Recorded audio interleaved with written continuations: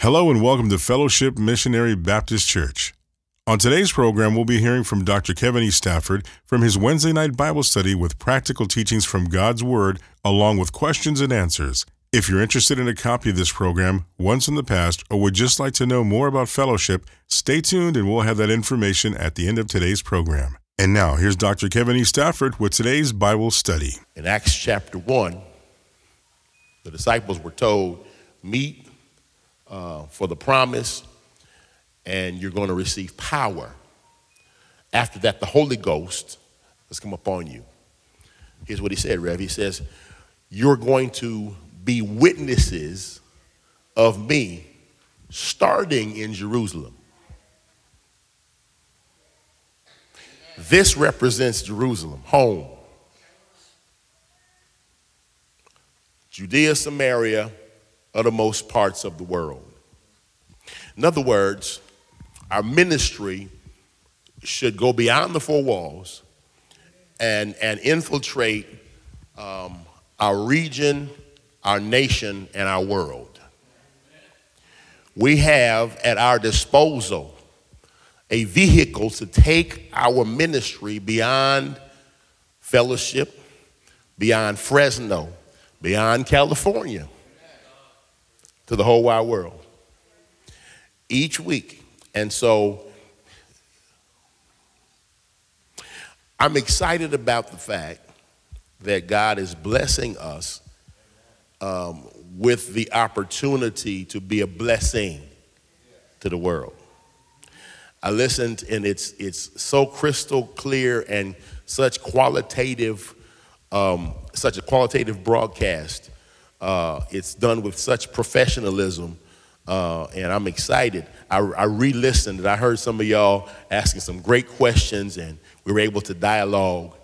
Um, and um, I want to have each of you be responsible for sharing what God is doing in our ministry. And it makes it easier when you can just tell them, go to YouTube, go to YouTube, and pull up your church. Now make sure you put Fellowship Missionary Baptist Church Fresno, because there's a whole lot of Fellowship Missionary Baptist churches around this country. Uh, and we are distinguished as that which uh, God gathered together here in Fresno. That's just a, that's just a commercial. I gave you a commercial break. Um, now let's get back to our regularly scheduled program. um, I've been trying um, to to not not rush you, but not bore you. Tony, I've been trying to uh, do my due diligence uh, to cover um, the material in a, in a way that you don't feel like you're, you're choked. And trying to tiptoe through it uh, but because some of it is so basic, I, understand that it could be uh, challenging to keep your attention. And I want y'all to be honest with me.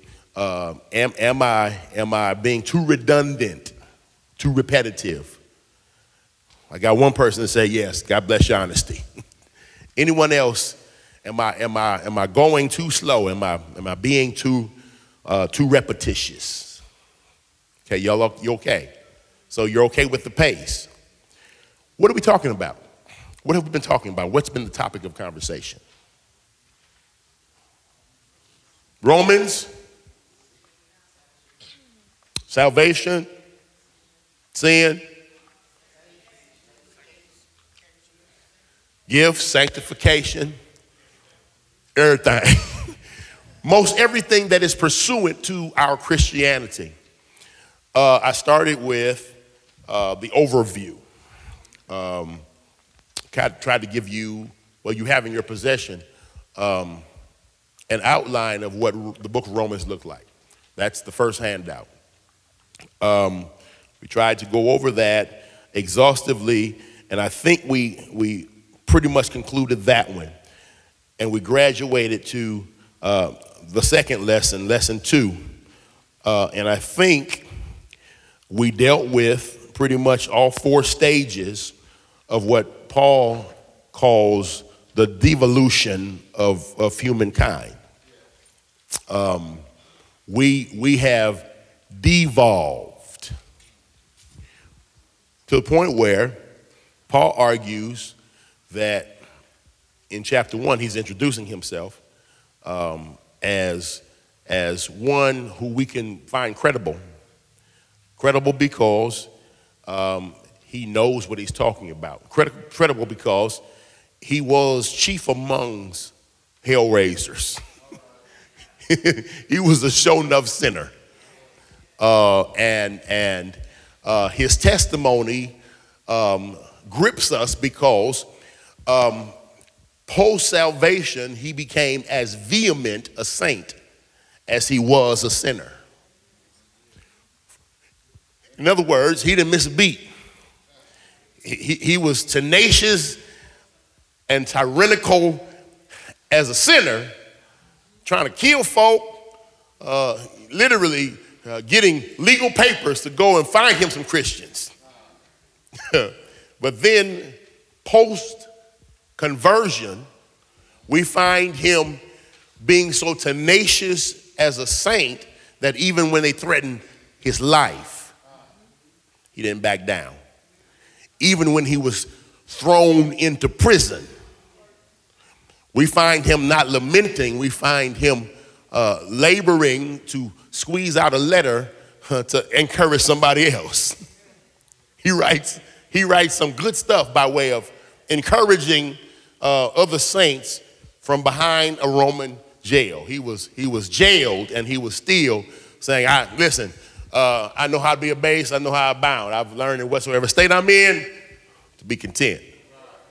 Matter of fact, let me help y'all. I can do all things through Christ who strengthens me.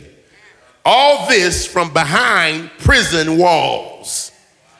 So, so this is a fella who obviously understands um, what it means uh, to, to feel the tug of Satan trying to mess with you because you're now no longer on his team. All of us, uh, let me help you. The tug of Satan is real. He's angry with you, Savannah, because you have the nerve to be showing up at church calling yourself a saint on a Wednesday night. The devil is angry with you, and don't you, don't you misunderstand. His intentions are very clear to kill, to steal, and destroy. So in, in chapter one, he, he introduces himself, and we find his credibility unquestionable.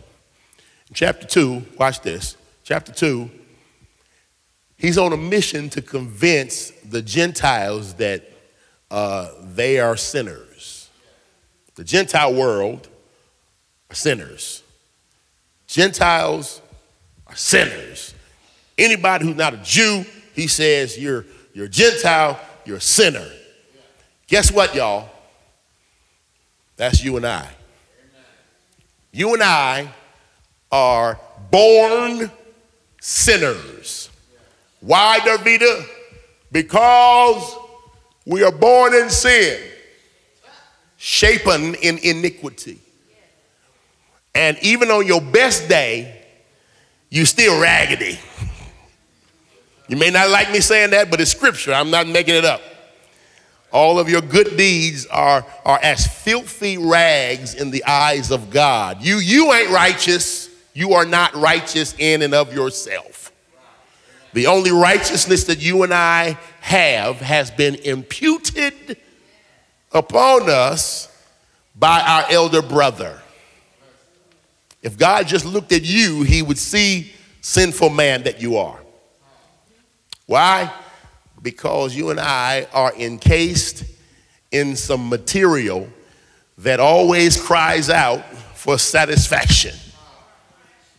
Your flesh desires um, satisfying.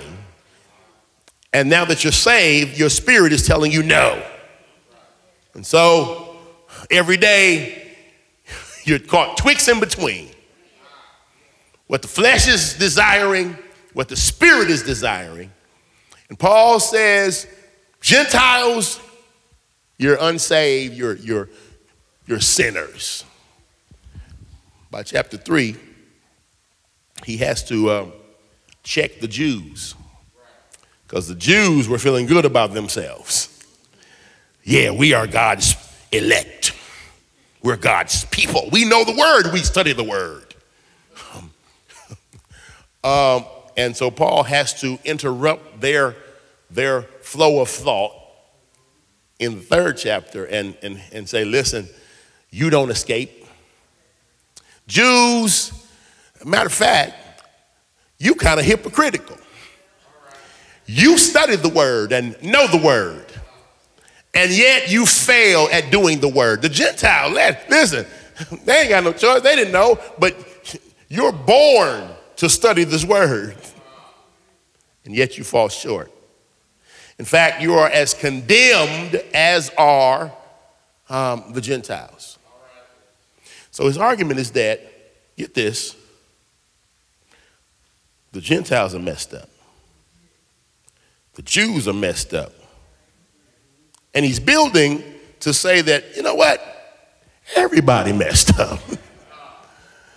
not, not, not one of us are without sin. And the question becomes what are we to do with this condition? Paul's, Paul's letter to the church at Rome is simply to help them uh, to embrace the fact that they've fallen short, to embrace the fact that, that they are sinners. Um, and he has to convince them. But the problem is, um, your mind, if you're not careful, will play tricks on you. And uh, you, you can be in a state of sinfulness so long that you devolve to a place where you, um, you it just becomes commonplace. And, and you, you start to justify your sinfulness as if it's okay. Now, watch this. Sounds kind of like us today. That if it weren't for the Holy Ghost reminding us that, that, that we fall short, some of us will, would walk around, I know it don't happen here, but walk around like we all that. Walk around uh, with an air about us as though we, we, we are um, approved of God in and of ourselves. God says, let me, let, let me, let me interrupt your little thought and let me remind you um, that you're on your way to hell unless something happens between your birth and your death. Something has to happen drastic. Otherwise, because of your sinful nature, you'll die, you'll go to hell. Because the wages of sin is death. But the gift of God is eternal life. Now, I'm trying to build this case because what I really want to do, I'm trying to give you the first two handouts because I really want to do this. I really want to graduate to the third handout. I'm going to do the best I can to get to that third handout, uh, but I want to um, lest you all, um, lest you all not get Paul's argument, I want to end this second handout by having you go in your Bibles, and I hope every soldier has your Bible. Go with me to Paul's letter to the church at Rome. Go to the third chapter, book of Romans. And I want to show you something. Romans chapter 3. When you get there, let me know you're there. All right. I want to read in your hearing um, verse 9 down through and inclusive of verse 20. Romans chapter 3, verse 9, it reads this way What then? Are we better than they? No, in no wise. For we have before proved both Jews and Gentiles, that they are all under sin. As it is written, there is none righteous, no, not one. Did y'all hear that? None righteous, no, not one. Jews, and Gentiles. There's none that understandeth, there is none that seeketh after God. They are all gone out of the way. They are together become unprofitable. There's none that doeth good. No, not one. Their throat is an open sepulchre. With their tongues, they have used deceit. The poison of asps is under their lips, whose mouth is full of cursing and bitterness. Their feet are swift to shed blood. Destruction and misery are in their ways, and the way of peace have they not known. There's no fear of God before their eyes. Now ye now we know that what things soever the law saith, it saith to them who are under the law, that every mouth may be stopped and all the world may become guilty before God. Verse 20. Therefore, by deeds of the law there shall no flesh be justified in his sight. For by the law is the knowledge of sin. Thus ends the reading of the word of God. I read in your hearing Romans 3 9 through 20. What are you saying, Paul? Everybody messed up. And, and there is no, I see, and, and there is no escape. You, you can't be good enough. You cannot do anything right in and of yourself. You, you're a hot mess. If left up to yourself, you are your own worst enemy. Yes, Savannah.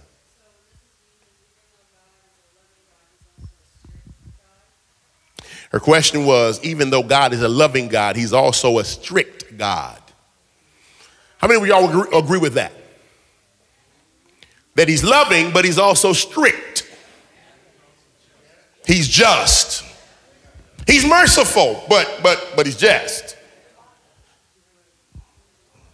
He he he has um, a duality of nature also. Um, he's he's he's kind, but but on the flip side, he'll chastise you. Come on, y'all. Yes.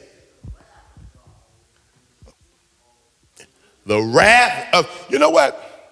The I would rather be in the hands of an angry man than an angry God.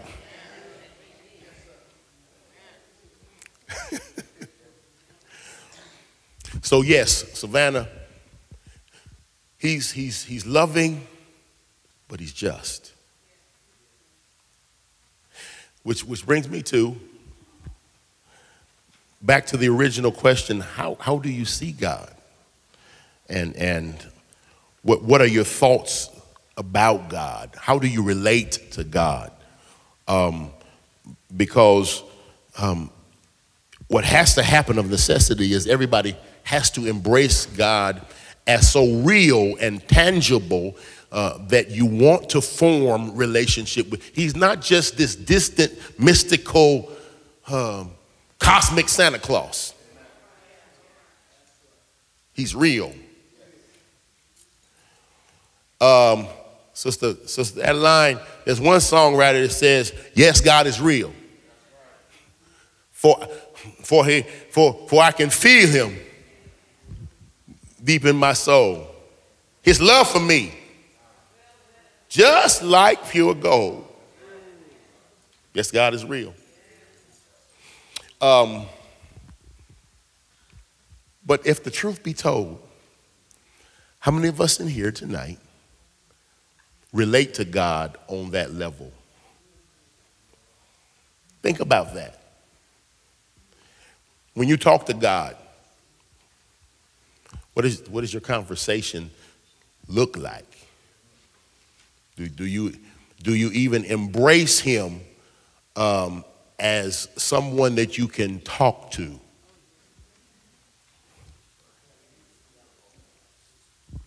Rev said he's a jealous God in relationship, he's very jealous. He, So jealous, Rev, I think he said, My name is jealous. You said, We're jealous? Mm. Yeah. Yeah. So, so yes.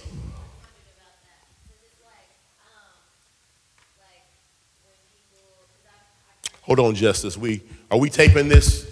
Okay, well, yeah, we to get want to get these questions. Oh, hi.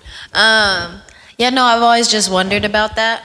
Um, Cause like there's always like those statements that are made like through social media and things like that where they talk about how like, you know, God is kind, but then he's he's wrath. He has that wrath. And then like it's like for me, my justification, of course, is is that he's God. Like you know what I mean. He doesn't have. He doesn't really need any say so to be what he wants to be. He could be a mean God if he wanted to. He's God.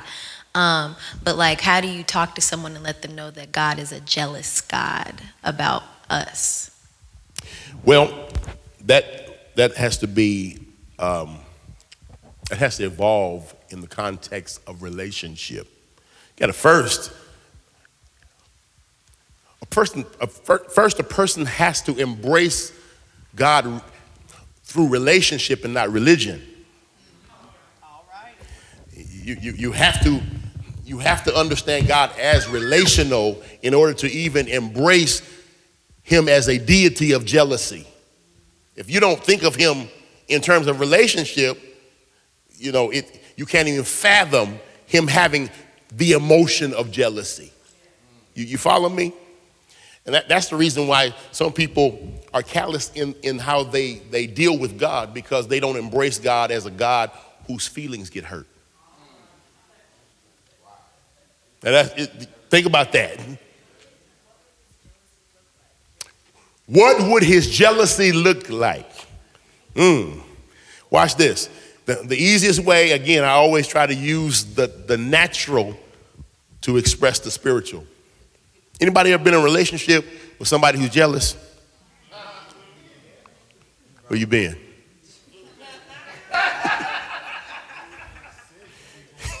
you said I called you. You wasn't even at church. You said you love me, and yet I can't get two and a half hours out of you on a Sunday. Really? really? oh, so so the game was more important. Oh, okay. You mean to tell me you gonna treat my son like that? Jesus? Why don't you, why do you only call me when you need something?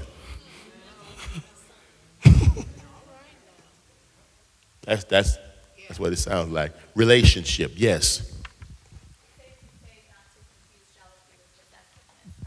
Is it safe to not confuse jealousy with possessiveness? Watch this.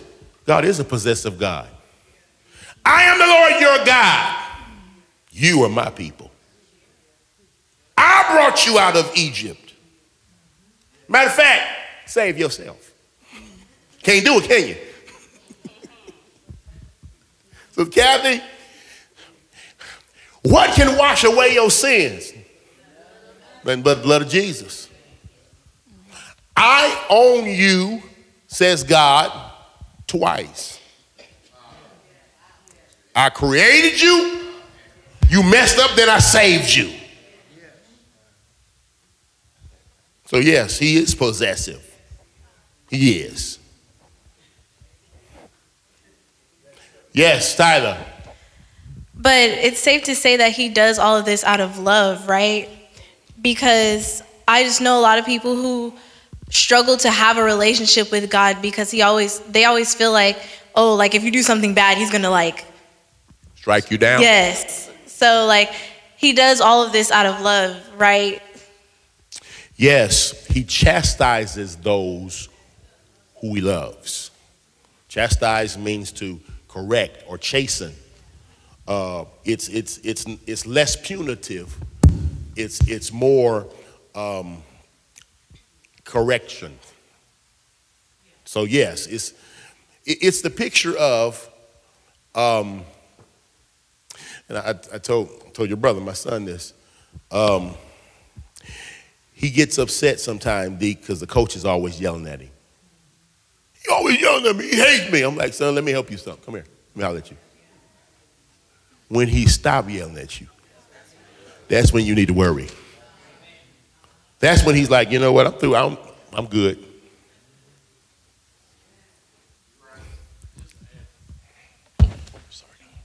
Just to add to the love that God has for us, also, I would say because of his wisdom for us. Also, um, he knows that if we go to something else for our needs, it's not going to treat that thing is not going to treat us like he would. That we won't get the things that we need, the healing that we need from something else.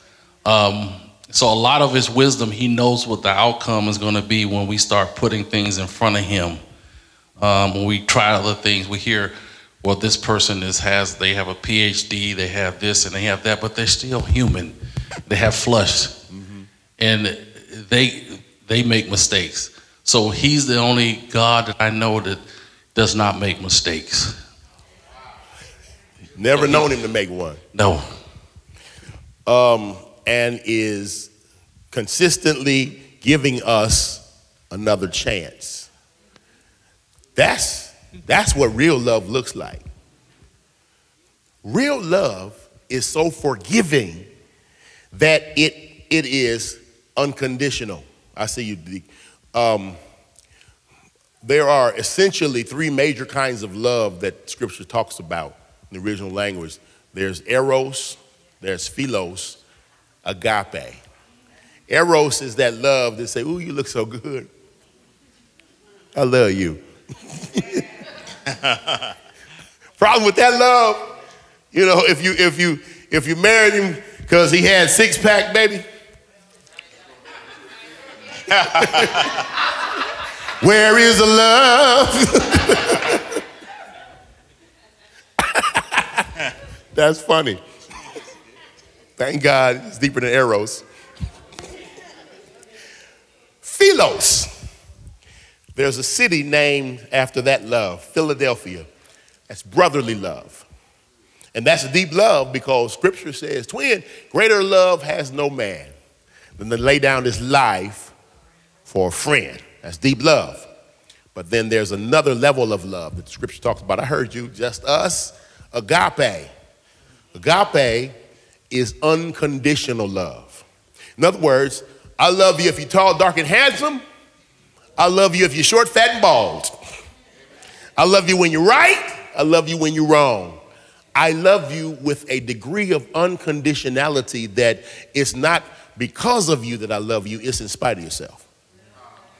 That is the level of love that God has for us. Watch this, because if it was on our own merit, um, the scripture would not tell us for while we were yet sinners, Christ died for us. Right. So, so that's what love looks like.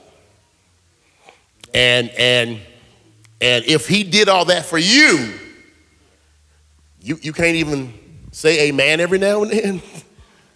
Can't even say praise the Lord. I mean, people have to beg you to praise the one that died for you. That that's, that's kind of, you know, that that's not what real love should look like.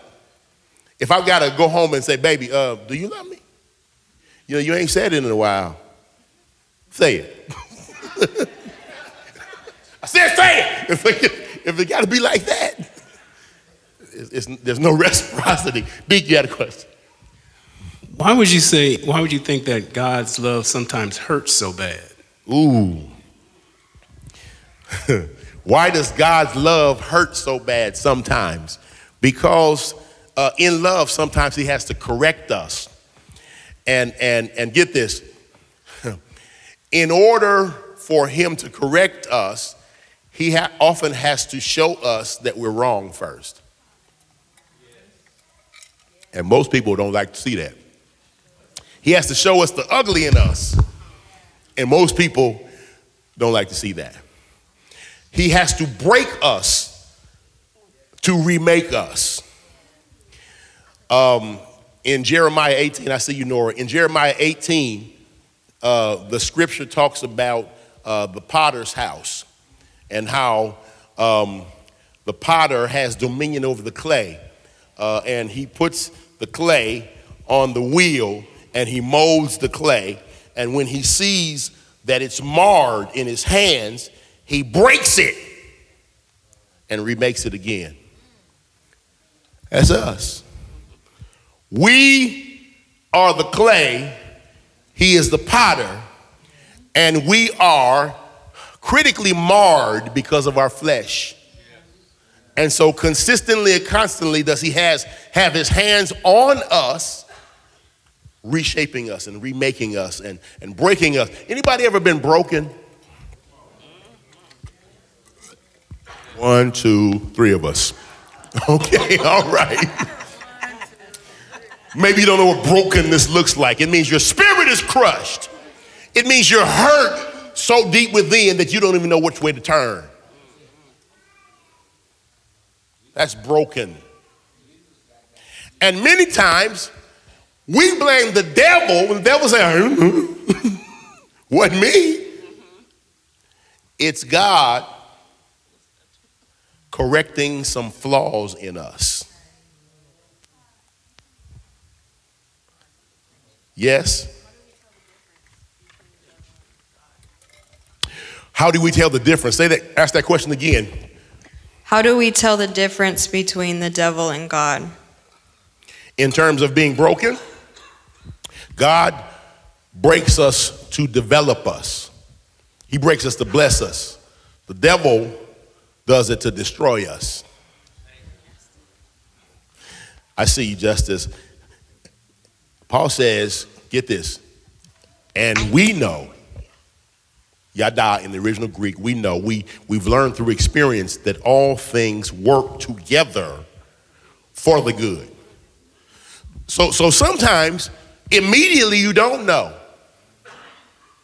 but you learn through experience that that bad situation that you were blaming the devil for, it was God taking something out of us that we did not need because it would not be conducive for where he's trying to take us. Make sense? Sometimes you got to come through and be like, you know what? I've been blaming the devil. That was God all along. He had his hands on me and it was hurting, but I, I was, he was hurting me to heal me. Make sense? Yes, Nora, I'm sorry. But back to the, the part where um, Bobby had said about it hurt, uh, it hurt Yes, so bad. yes. Okay, and that hurt, that how you feel that hurt, is that confirmation, or can that hurt be confirmation of you, your relation? You have somebody, you got to know somebody or have some feelings about somebody in order for somebody to hurt you. I think that when, when something like that happens, there's a relationship involved. So is that confirmation that you know you you do have your you know who, who the Father is? You that's that's confirmation of your relationship with God is what I'm trying to say. Not always, because again, sometimes you have to come through something and then look at it in hindsight, in retrospect, and then see, you know what? That was God. And then that can become confirmation. Tony, I see your hand. Then that can become confirmation. But there are times in the midst of it, all you can do is believe that God is for me. if God be for me. But Dick, I think somebody said, since God be for me. But in the middle of it, you, you- anybody ever been there scratching their head talking about, ooh, I don't know about this one, Lord. Ooh, ooh. I didn't I didn't expect this one. Glendetta, where did this come from? This right here is some brand new stuff. Anybody you like Kathy, you like, whoa, Oh, hold up. hey, Hold on. pump the brakes on this one, God. But you also said it's not confirmation that it's the devil neither. I mean, it's not that the devil brought this on me. It's easy to blame him. Most of us want to blame him. I want to slap the devil all the time, and sometimes he's like, I ain't do nothing. Man, you think God would give us that type of time? Uh, Brother Tony, then come back to you.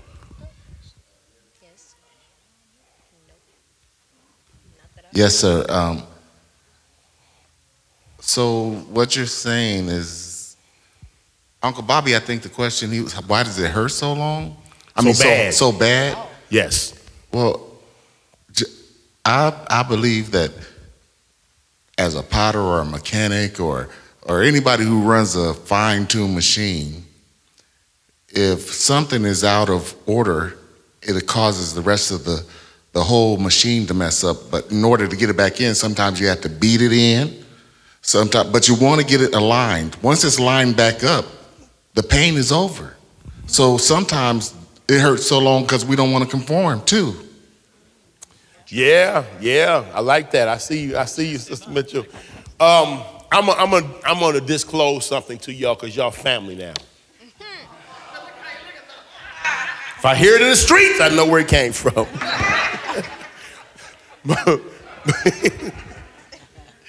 um, my baby sister, um, she teases me to this day. We, you know, we, we have a relationship that that's my one of my best friends. Uh, we, we go back and forth, Tyler, cracking on each other. You know that.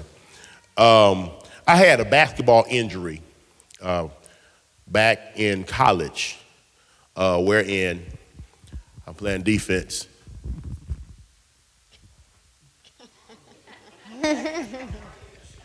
and um, uh, fella dribbled the ball right in front of me, and I went to grab the ball from him, and somehow the ball got stuck between my finger and the floor. And and it did you just say uh? we family, you ain't supposed. That's what my sister be saying, uh, put that thing away. It's it's it broke. It- and it it it's facing it's facing what is that, south? Everything else is facing due east. This this is south. It, it goes this way. And it, it, it, it broke and it got stuck like that. It was stuck like that over here. And, you know, I'm tough. I'm like,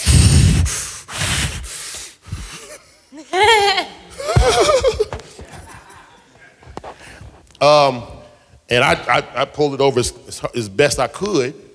Uh, but the doctor said, the trainer said, you need to go to the doctor. The doctor's like, I need to re break it and reset it. I'm like, no, you're not. Well, I don't know who you're talking to, no, sir.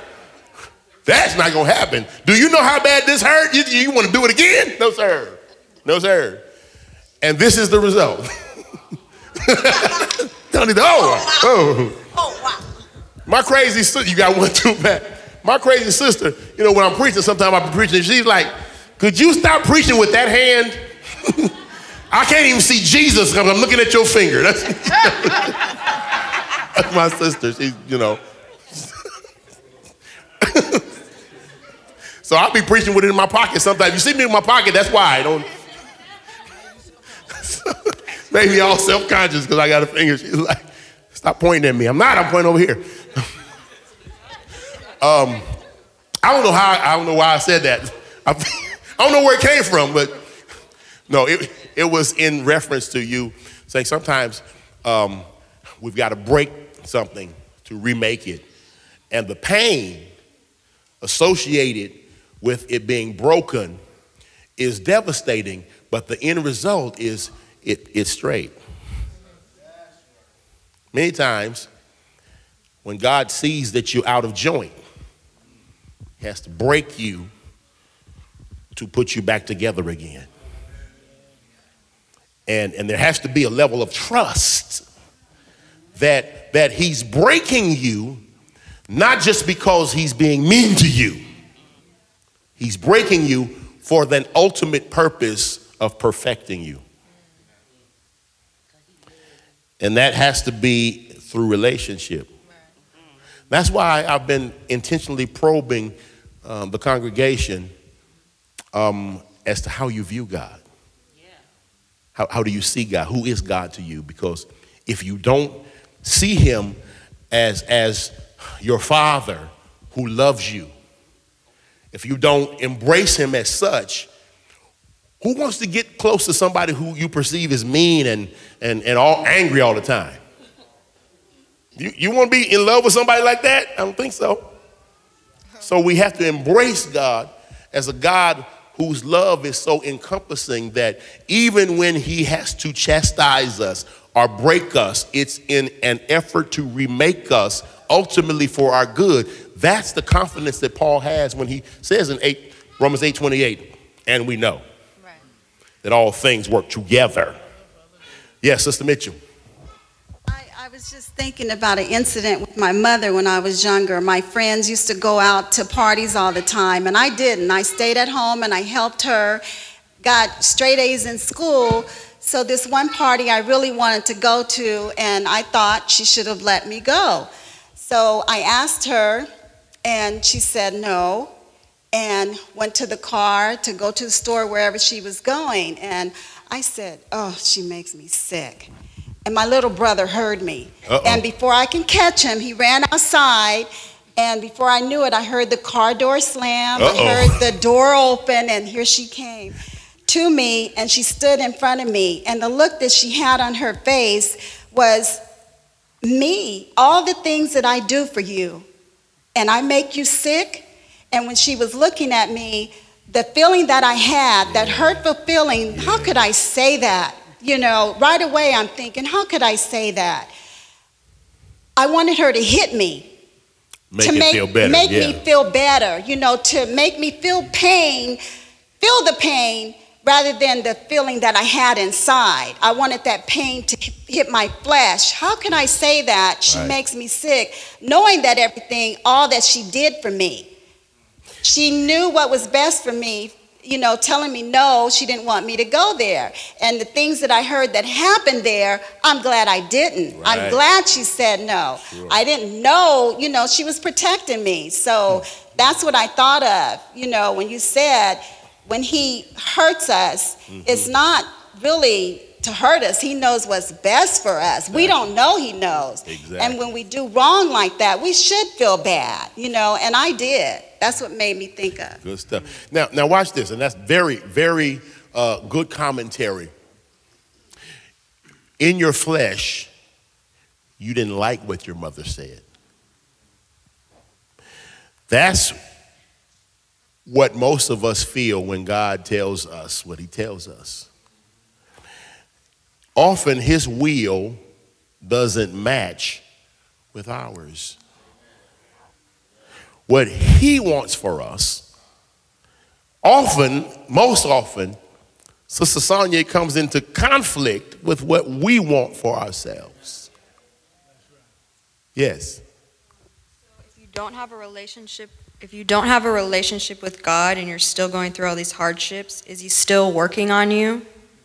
If you're saved, whether you have a close relationship or not, you still have a relationship. See, once you've accepted Christ Jesus, he's on he's in there. Now, it's up to us to get to a place where we allow he who is resident in us to begin to shape us and lead us and guide us. That, that's, that's an individual relationship that each of us have to, has to come to.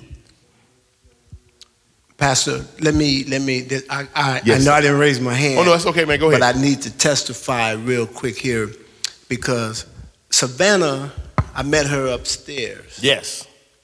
and got to know her. She never, ever, not one time, asked a question upstairs. And I didn't heard her ask about Five or four six five- of them tonight, right? It's, Amen. it's working. It's working. Praise the it's working. It's Praise working. the I Lord. give God some glory. It's working. That's all It's right. Working. Awesome. Awesome. Praise God. This is good stuff. Yes, Justice.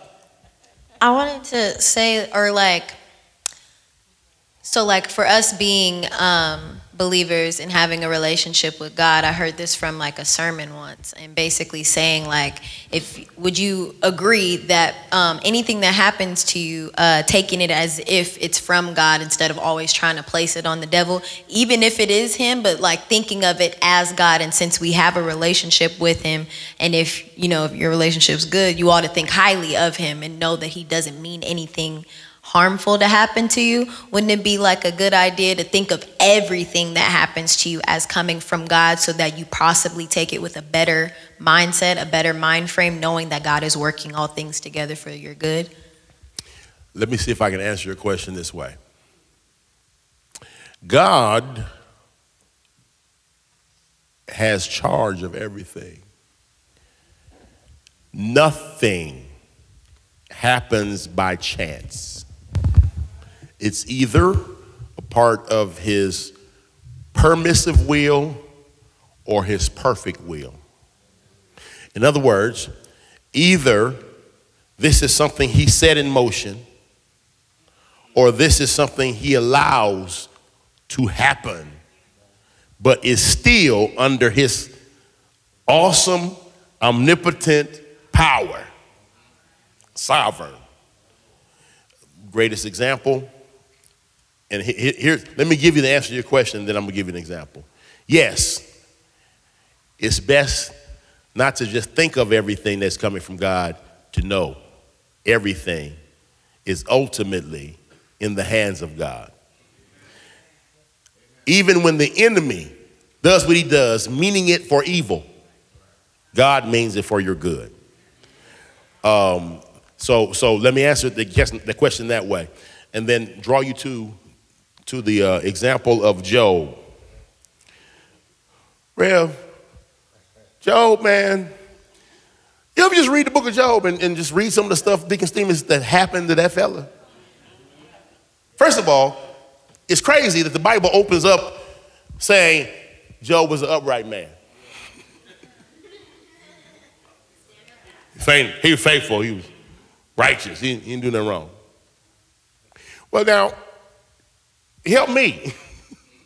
you mean tell me if I'm, I'm good and I don't mess up, I'm still subject to Satan? Well, yeah.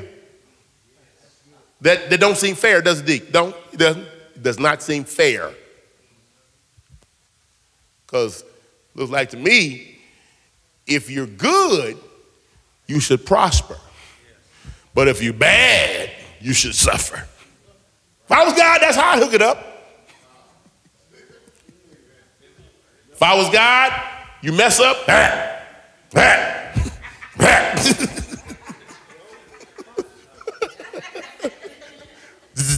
I get you. I get you. If I was God. Okay, you good. That's you. That's you. That's you. That's the way we think. And, and, and in, in Job's day, um, it's called the Deuteron- Deuteronomistic, Deuteronomistic, Deuteronomistic, there it is, Deuteronomistic mindset. The mindset was if you're good, you prosper. If you're bad, you suffer. And so that mindset was prevalent with Job. That's why his friends were like, yeah, you, you be, you be fronting. You act like you're so holy, but God knows better. Behind closed doors, you're doing something. That's why you're suffering, Job. But before Job was allowed to suffer, Bible says uh, Satan came to a meeting where, where the, the, the children of God were there, and Satan shows up. Hey, where you, where you been, fella? I just been going, I've been going to and fro, seeking whom I may devour. I'm looking for somebody to mess with. Just, just, just like the devil, trying to find something to get into. So God says, Rev, have you considered my servant Job? God offered him up. God suggested his servant, Have you considered my servant? Satan's like, Yeah, I, I've wanted to get a hold of him a long time. I've tried. You, you, you, you got a hedge of protection around him. You've built a fence around him. I can't get to him. Tell you what, let the fence down. I guarantee you I get him. God says, okay, just don't, don't mess with his, his life. Don't, don't kill him. Don't, his soul belongs to me. I guarantee you, my son's gonna be all right. Devil's like, I guarantee you he won't. God's like, okay, we'll see. And so here he goes. And in succession, things happen to Job. Loss after loss. Job, Job, Job. The house where your kids were partying at, it, it, it fell down and killed everybody. I'm the only one that got away. Job, Job, all your cattle, it's been destroyed. I'm the only one that got away to tell you about it. That dude that keep getting away.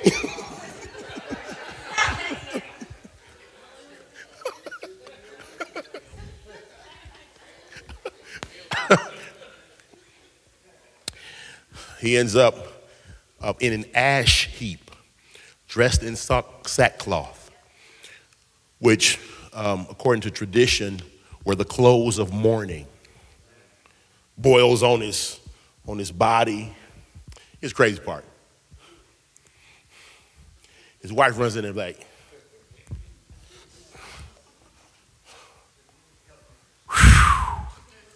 uh, honey, you, you know, you, you probably should, ooh, ah, ooh. You probably should go ahead and curse God and die.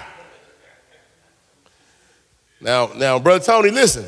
It's one thing for her to say, curse God, but then she gonna holler out and die? You got a policy on me or something? You just, you just what is this?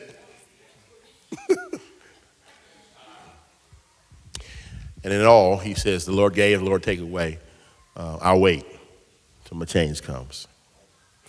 I said all that to say this, Justice in answer to your question. I know I took the, the high road, the, the long road, but it's your question is profound because many of us uh, have had to struggle with tragic occurrences and embracing the fact that e- even though it, it's, it's devastating, it, it's still divine at the same time.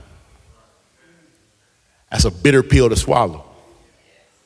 Something so devastating can ultimately be divine of God. God allowed it to happen. But, and I, I preached a sermon once, um, I believe it's that the last chapter of the book of Job. He says, I had heard of thee by the hearing of the ear, but now mine eyes seeth thee. Y'all think about that. I had heard of thee by the hearing of the ear. But now that all of these things have happened, now that I've suffered all of this loss, now that I've, I've been devastated, now mine eyes, I know you on a whole nother level now. I think that's the 54th chapter of Job. Look, Um, find it. Yes. Yes, and the yes. I, I for myself, you know, it's it's it's been strange um, that you that you bring that you bring that scripture uh, into play because along with that, in Romans eight twenty eight, um, my wife and I have found ourselves at a completely different level of relationship with God now, with uh, with with Luz and Dominique, because of a loss, you know, and it's strange. You know, you hear these, and, and you guys need to understand you hear these scriptures, you you you read them, you hear about them in Bible study and Sunday school and preaching and all of that and everything like that. You know, but until it actually takes a direct effect upon your life, you really won't know what it feels like. Um, Romans 8:28, you know, after you've had a devastating loss like that, and you turn around and go, all things work for the good. Yeah. After a devastating loss like that, it's very strange. But then you turn around and you hear Job say, you know, I've heard you, but now I see you. That right there in itself brings your relationship a whole lot closer. So I'll say this take what you are learning and everything in Scripture extremely serious. Build your relationship as close as you can with God because uh, uh, um, learn the lessons that you hear from others so that you don't have to go through them yourself. Well said, sir. And that scripture, by the way, is Job 42 and 5. Five. Job 42 and 5. Yes, Tyler. So you said that, like, I'm just confused as to how out of all that mess, Job was still able to see God within all of that mess. My child just say, after all that mess. Anybody feel like I done been through so much mess? Yeah. How does he? See, and, and you'll hear me say this time and time again. I know you've heard it many times before. Y'all probably have heard me say it here before. Um, I'm, I'm, I'm never going to stand and proclaim and preach what I heard. I'm, I'm passionate about my, my preaching assignment always. Every time I stand, I'm, I'm trying my best uh, to, to dig so deep within the riches of the hidden treasures of the word and, and pull up pearls of wisdom and, and try to preach it with passion. And, and I, I, I, every time, I don't know how to not go hard, that's what I'm trying to say. And it's because I'm telling you what I know, not what I heard, what I've experienced. The, the passion behind it, Tyler, is because it is a living testimony for me. And so I can say it unequivocally. I can say it, not mince words. I, I can say it because I know it, because I've tried it, and, and it's been my experience. What, what happens in relationships, and this is both divine as well as natural relationships, they strengthen when you go through trials. Anybody in hold on? Anybody in here been married for a little while? In that little while, have you ever been through something that you like, woo, boy, I didn't think we was gonna make it through that one. woo wee.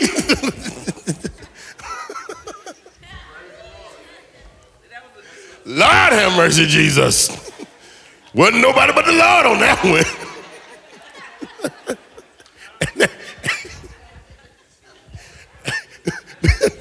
then you're like, yeah.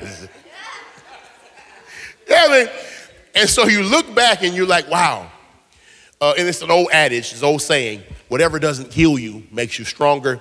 Uh, that, that's an old saying, but the reality is uh, there's a lot of truth to that uh, because uh, within the context of a relationship, uh, when the, the fabric and the fiber of the relationship is tested, it, it literally fines tune that fine tunes that relationship. So, so, so when you go through something and and God is right there from start to finish, and and you realize, you know what? If it wasn't for Him, I wouldn't have got through this. Then it strengthens your relationship. You know, I heard that you get people through some stuff. I had heard by the hearing of the ear. Mama told me, but it wasn't until I had to go through it for myself that now mine eyes see. I heard, some, I heard you a healer, but it wasn't until I got sick. Y'all talk back to me. There it is. No test, no testimony. Savannah, then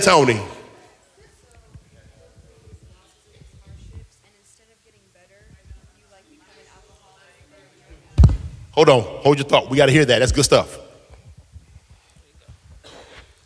Where's your mind disappear to? So instead of, um, when you go through all these hardships and these losses, instead of getting better, you become like an alcoholic or a drug addict and you never really get better. What, is that like a choice or? Choose ye this day who you will serve. Will it be God or will it be man? Yes, it's a choice. And, and what the devil loves to do is parade a choice that appeals to your flesh in front of you. That's what he does. He he he he puts stuff in front of you in in times of struggle that looks good and looks like it will satisfy you. And and you know, you you eat it up and like, I feel good for a minute. But but temporary satisfaction is all that it offers. You follow me? So so yes, that, that's why Paul says, and I, love we can always anchor this back in scripture. That's why Paul says, as we're talking about Romans, that's why he says, every day I've got to make a decision. My flesh is crying out for one thing, but my, my spirit man is crying out for something else. I got to decide. I got to make a choice. The devil dances, parades those very things that really can lure me. See, your bait might not be my bait. Come on, y'all. Amen. But the devil knows just what to dangle in front of you, and he hits you at your lowest point. Are y'all with me? I'm gonna go here and I'll come back to you. Uh, yes, sir. Um, what I was going to say is, is that the only tests that we fail are the ones that we give up on. And what I mean by that is, God is with you at every point.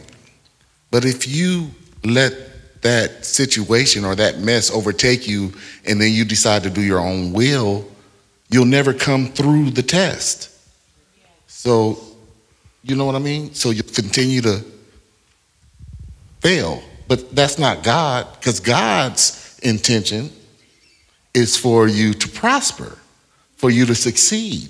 So you have to trust him enough, which is what he was saying about relationship, that he's going to bring you through whatever it is. Scripture say, and I come to you, Rev. Scriptures, scripture, and I can't, I can't recall it off the top of my head to recite it. Um, so take my word for it. Look it up when you go home. Um, the race is not given to the swift, but those that endure to the end. The word endureth literally means um, to have the wherewithal to hang in there. To, to, to even in the midst of the deepest desire to want to give up, decide I'm not going to give up. Endurance. To, to, and um, my son runs track now. Uh, and I got tickled. He's like, Pops, I, am not doing none of them long events. Huh? It's a sprint or nothing else. All the people running miles at a time now. It takes some, some endurance when, when you're running and you on lap number three and a half. You like, I got a whole nother half a track. I give. Ecclesiastes 9, 11. Um, endurance, that's, that's, that's a fortitude, something that's deep within that drives you to hold on. I see you Justice. Let me come here, preacher, and then I'll come back to you, daughter. You know, it's one thing that we as Christians should do once we make a commitment uh, to live for God. You, you shouldn't have to make no more that decision all of the time. Because God cannot be tempted with evil neither does he tempt anybody with evil. But if you are tempted, you're led away on your own lust and enticed. You know, but if your mind is made up, I don't wake up in the morning deciding whether I'm going to live for God. I made that decision a long time ago. It doesn't bother me now when I wake up. I have no problem knowing who I'm, whose I am, and what I am. Okay? I don't, it doesn't, doesn't question it. I have, I'm not hesitant. Oh God. I wake up praising God for even the suffering that I have to go through. I wake up praising Him. I, I feel sorry for God, you know, because of what He faces every day of, of His life how he see his peoples living yes. and how he see how disobedient That's a level of maturity that I think all of us should aspire to. But I'm just going to be honest. Oh, I, I, even when I would do good, he was present. And even though my mind has been made up a long time ago that for God I'll live and for God I'll die, there are days of weakness. The spirit is always willing, but the flesh is weak.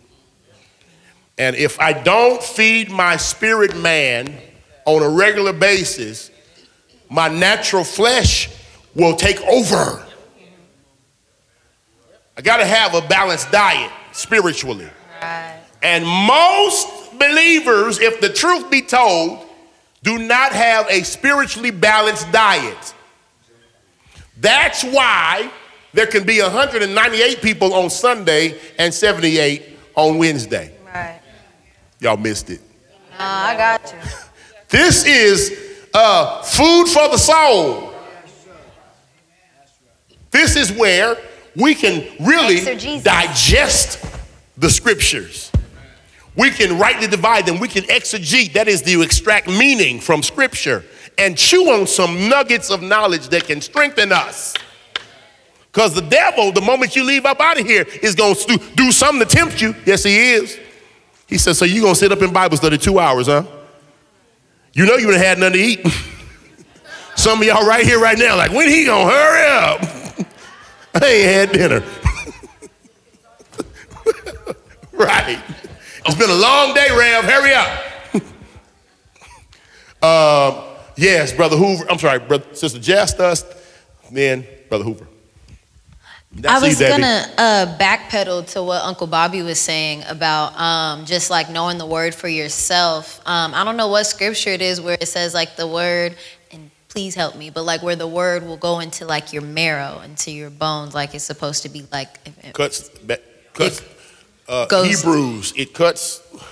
Um, oh, the word the word is like two edged sword. It- Yeah. it- yeah. Yeah. That, that that part right there. Um, God, I was talking to Sonya about this recently though, but like God had to really help me one day because I was having a real trouble understanding what meditation was because it's been, you know, there's been different ways of people showing off what meditation is for a long time.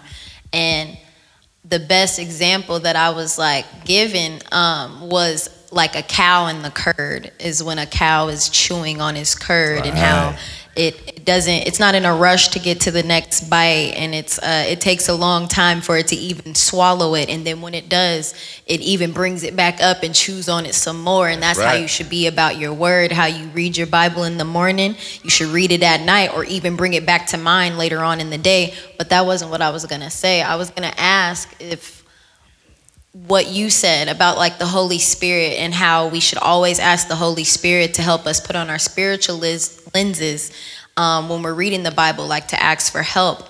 Um, my question is Is God going to take us through the things in the Bible that we haven't had applied knowledge on? So, like, I'm reading my Bible, I haven't gone through everything Mhm. that, you know, mom and grandma and everybody has always talked about from the Bible. Is God going to put me through those things so that I can have applied knowledge, wisdom about it? That that's too broad to answer for God, but I'll say it this way. Because you're predestined by God for a purpose, he knows what purpose that is, and if you need to go through a specific thing to perfect you for your purpose, then you will. But if that's not a part of your purpose, then you know he's not going to send you through that. You follow me? Uh, everything he does is on purpose, with purpose. He'll reveal you to you. Let's let's do this. We have, oh, sorry, brother. Really, really quick. I just wanted to add to, we were talking about choice. Uh, when you're struggling with something, uh, whether it be drugs or anything else. and I was thinking about what the elders used to say you have to track God for yourself. You know, you can't just go off my spirituality, you can't go off my experience. You have to try God. And so I think about that, that I guess it's a question and a comment. Is there power in surrendering and saying, I know I can't do it on my own? Rather than just saying, I need some help, but saying, I know I done tried it before. Until I surrender, I know I can't stop. So I need something stronger than me. Thank you, Brother Hoover. You really have parlayed us into where I was trying to get all night.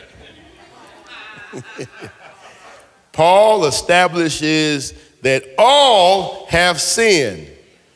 Gentiles, you're sinners. Jews, you're sinners. Everybody come short of the glory of God. O wretched man that I am, who shall deliver me from this body of death? What am I going to do? How am I going to find my way out? I don't want to die and go to hell. I don't want to live in hell, then go to hell. I need to be delivered from my condition. I need to be saved, sozo in the original Greek, to be rescued or delivered from. I, I need salvation. I, I recognize, get this, I realize that I'm messed up.